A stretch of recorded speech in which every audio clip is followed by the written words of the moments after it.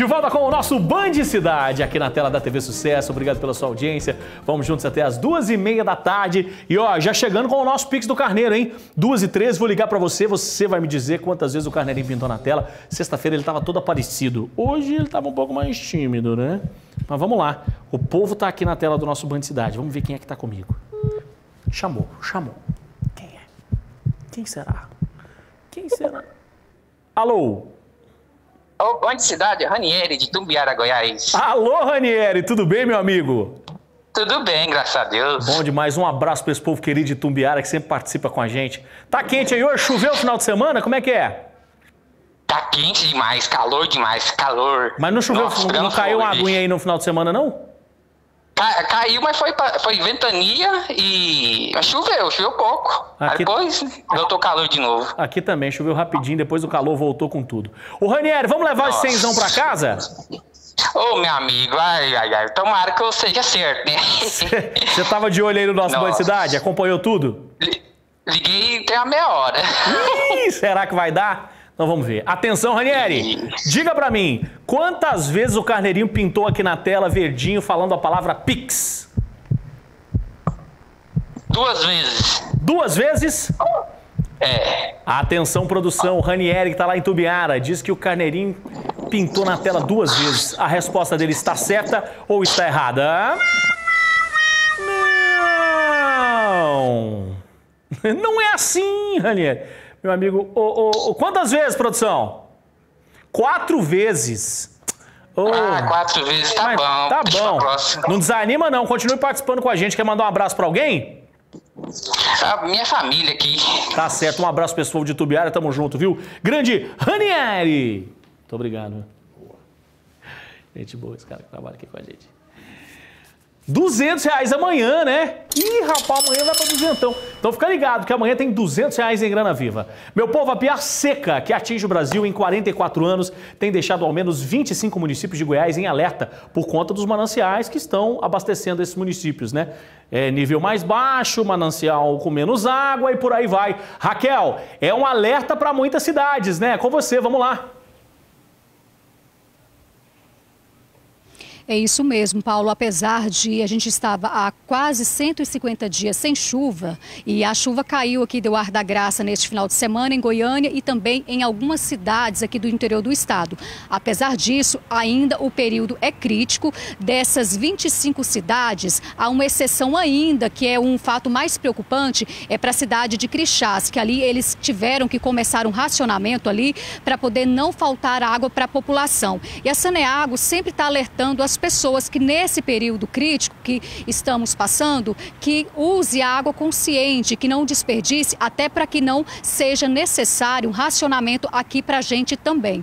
E a, a Saneago alertou também que para os municípios em questão, que eu vou citar agora aqui, que elaborou um plano de racionamento de maneira preventiva. Entre essas cidades, exceto Crixás, que já começou ali um plano de racionamento, está a Arenópolis, Caiapona, Ca- Caiapônia, Bom Jardim de Goiás, Crixás, Iporá, Mozarlândia, Nova Crixás, Porangatu e também aqui na região metropolitana de Goiânia, que é preocupante também a situação ainda, que o rio Meia Ponte está no nível crítico 3, ainda não saiu desse nível, então a gente continua ali, é, aquele local está sendo monitorado para saber como que vai ficar, se será necessário mais, mais para frente um racionamento. Mas a previsão é que nos próximo próximos dias a chuva caia com mais intensidade aqui, mas ainda não há um dia certo para isso. Conforme eu disse, choveu aqui no final de semana, mas foi uma chuva rápida, uma chuva leve e que ainda continua nesse período crítico. Volto com você. Muito obrigado, viu, Raquel? Vou te falar uma coisa. Toda vez que a gente fala sobre volume de chuva, é, e aí a gente está numa seca a maior dos últimos 44 anos, a gente precisa, a gente repensa, pelo menos eu, eu não sei se você faz esse exercício aí em casa, a gente repensa a nossa relação com a água, né? Porque muita gente não tá nem aí, né? Ah, deixa lá, o cara vai, sei lá, o cara vai tomar banho e deixa o chuveiro aberto enquanto pensa na vida, enquanto faz outras coisas, ou enquanto escova os dentes, deixa ali aberto durante todo o tempo e tal. Então, é um- não- uma seca dessa faz a gente repensar. Eu citei o exemplo aqui que ano passado, por exemplo, nós tivemos a maior seca do Amazonas dos últimos 100 anos, né? É, dos últimos 110 anos Esse ano a seca está pior do que ano passado.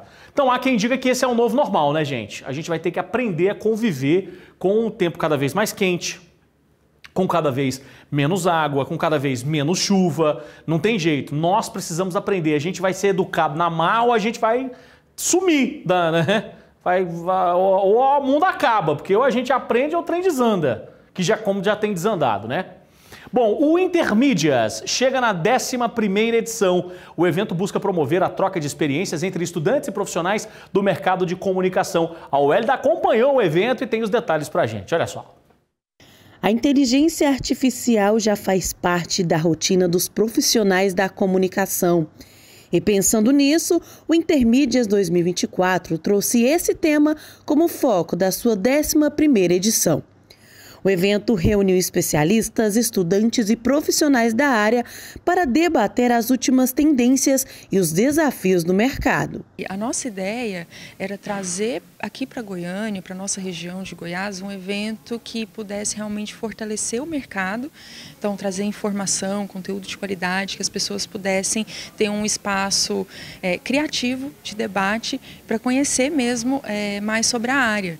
Então, a gente tem um público bem diversificado, tanto de estudantes quanto de profissionais, é, que vão ali já também um pouco para o empreendedorismo. Foram três dias intensos de palestras, debates e painéis, com profissionais de renome compartilhando seus conhecimentos e experiências.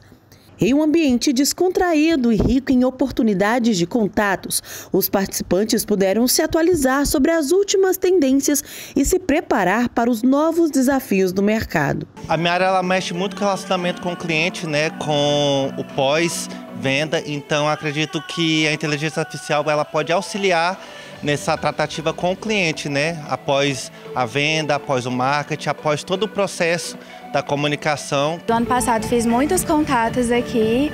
Esse ano voltei querendo fazer mais contatos, porque acaba que por mais que você não conheça a pessoa, a área, no futuro você tem mais conhecimento, que eu acho que é mais importante ainda.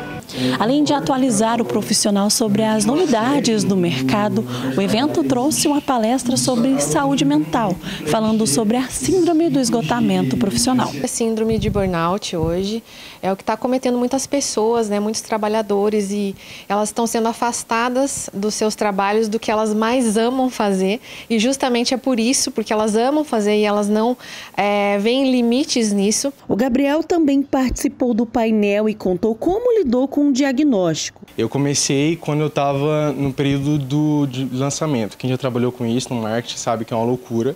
Se é um filho nascendo ali, você tem que dedicar 110% de sua vida. E aí foi muito trabalho, muita demanda, que eu comecei a sentir aquela exaustão que não dava conta e quando eu comecei a sentir os meus sintomas. Então foi conversar muito com um profissional, né, que entendia sobre isso e que me ajudou a definir, é, definir até onde eu podia chegar, definir, me ajudar a me conhecer mesmo até é, para me ajudar a sair desse, desse momento que foi bem, bem complicado. É isso aí, meu povo. Mais um encontro legal para poder discutir sobre comunicação. Quem gosta é uma ótima oportunidade, né? Ó, 2h21, obrigado você que interage com a gente, que manda sua mensagem. Por falar em manda sua mensagem, vou mostrar a foto do seu prato aqui para você que está de olho no nosso Band Cidade. Nessa segundona, é minha amiga Cristina. Boa tarde, Paulo. Quero Pix do Carneirinha, minha amiga Cristina Rosa de Aparecida de Goiânia. Alô, Aparecida de Goiânia! Prato na mão. Olho na televisão, obrigado. Que Deus abençoe a todos vocês aí. Que que é isso com a coquinha KS, que ela não é boba nem nada nada. É, o pratinho dela também tá bonito, hein? Quando é que foi esse prato? R$ 32,50 no preço. Obrigado. Tem mais gente na tela do nosso Band Cidade. Segura. Falaram para mim, segura. Segura, tia. Amarra o tia. Meu povo, o Pix do Carneirinho não saiu. Então amanhã nós temos 200 reais em grana viva que, que você tem que fazer? Você tem que ficar de olho no nosso banco de cidade. Eu sei que no meio tem o tal da propaganda eleitoral gratuita, que é chato, dá uma vontade de mudar, mas não muda não, porque daí você vai para outro canal, de repente volta e você esquece da gente. Aí fica chato. Então deixa aí, deixa lá, tá? Falei que essa música não tem nada a ver com culinária, fica parecendo música de filme erótico. Sei que trouxe esse cara, né? Você indicou esse cara. Bora, bora almoçar, Paulo Carneiro. É Elisângela, do Mansões Paraíso. Alô, Elisângela. Alô, Mansões. Que que é isso, Elisângela? Elisângela que acha um equilíbrio entre a manga, a mandioca e a carne de porco. É carne de porco? Será que não faz mal, não? Será que não faz mal, não? Mandioca com carne de porco? Não, com mandioca não, de porco não faz. Paulo Carneiro. Não, é verdade. Não é Mas e a assim. manga? Manga com mandioca. Mas manga com leite não faz mal? Ah, tá bonito seu prato. E ainda tem um, tem um creme aqui que ninguém sabe o que, que é. Deixa eu te falar, você tá de regime, né? Começou a segunda-feira. Ah, eu vou de leve, mas tá bonito. Beijo pra você, obrigado pela audiência. Eu sou fã de manga. Tem mais gente, boa tarde a todos da equipe, vocês da equipe do Band Cidade TV Sucesso. Tenham um excelente, abençoado semana a todos vocês. Meu nome é Marcos Francinetti. Alô, Marcão. Tá aí, ó, de olho no nosso Band Cidade. O Carneirinho tava com aquela cabeça imensa, bem na hora, e ele tirou a foto. Muito obrigado pela audiência. Tem mais gente. Boa tarde, Paulo. É a Maria Divina de Tumbiara, adora assistir o Band Cidade. Gostaria de ganhar o Pix do Carneirinho. Ô, Maria Divina! Beijo, pessoal de Tubiara, obrigado pela audiência. Tem mais gente. Boa tarde, aqui é o Joaquim, do Mototáxi de Tubiara. Estou ligado no Band Cidade. Rapaz, nós precisamos ir lá em Tubiara. Vamos lá em. Vamos lá em Tubiara. Não vai não! Vou! Pessoal, mandem histórias de, de Tumbiara. Paulo, vem aqui contar a história de tal pessoa, de tal lugar que é interessante. Eu quero ir em Tumbiara, fazer uma reportagem lá especial e contar a história desse povo, tá? Bom, a gente sabe que os animais são parceiros na recuperação da saúde, né? E o Hospital de Doenças Tropicais, o HDT, recebeu pela primeira vez cães treinados para poder auxiliar no tratamento terapêutico de pacientes internados. Esse momento especial você confere na reportagem na tela do nosso Band Cidade. Em meio à dor e à solidão de uma internação, a esperança às vezes vem de onde menos se espera. Eles chegam silenciosos, com passos leves e corações gigantes. São cães treinados para oferecer amor e conforto. E é impressionante como eles conseguem transformar tudo ao seu redor. Bruna está com a filha Milena, de 6 anos, que está internada há 15 dias para tratar uma pneumonia. Elas são de Catalão. A mãe contou que a filha é apaixonada por animais e que a visita dos cães foi muito importante para ela. Acho que para ela esse momento, depois de 15 dias fora de casa, internada, sem contato com nenhum animal, é bem importante para ela, que é apaixonada por cachorro e por animal. A gerente operacional interina do HDT falou sobre os benefícios que a presença desses animais traz para os pacientes. E nós sabemos dos estudos, tem artigos científicos que falam dos benefícios para os pacientes. E aí a gente fala, por que não trazer para os nossos hospitais, né, para os nossos pacientes, porque a gente sabe dos benefícios que são aumento da serotonina, que é ali o hormônio da felicidade, redução do estresse e tudo isso aliado melhoram o tratamento, reduz o tempo de internação. Então, esse mês de setembro a gente comemora o, o mês internacionalmente relacionado à segurança do paciente. E uma das ações relacionadas à segurança do paciente é a experiência do paciente, melhorar a experiência do paciente dentro da internação. Tainara nos contou que um paciente expressou sua alegria ao receber a visita dos cães terapeutas. Ele está distante da família e a primeira visita que recebeu durante a internação foi a dos animais. Inclusive, nós tivemos um depoimento de um paciente que falou assim: Nossa, eu vou ficar aqui internado 40 dias, a minha família é de outro estado, de outra cidade, não vai conseguir vir me visitar e é a primeira visita que eu recebi. Então, isso é muito gratificante para nós. Os cães fazem mais do que uma simples visita, eles levam vida aos corações. Nesses momentos de dor, insegurança, e incerteza são momentos que se tornam em alegria para os pacientes. Esse é o Anthony Daniel. Ele está internado há uma semana, mas já vai receber alta e adorou a visita especial dos cães. Todos os animais participantes são vacinados e recebem cuidados regulares, garantindo a segurança e o bem-estar de todos os envolvidos. E assim eles se despedem, mas deixam uma marca que vai muito além das paredes do hospital. Uma marca que aquece as almas e traz esperança.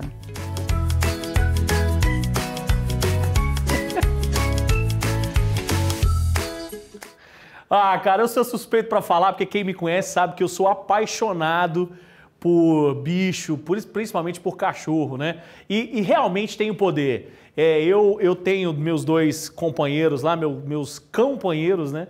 Que é o Bolt e o Fred. Mas assim, em momentos difíceis, cara, é impressionante como é que esses cachorros.